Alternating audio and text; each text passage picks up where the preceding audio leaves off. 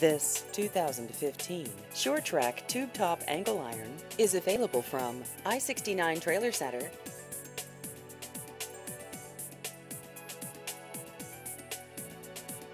This vehicle has just over 2,000 miles.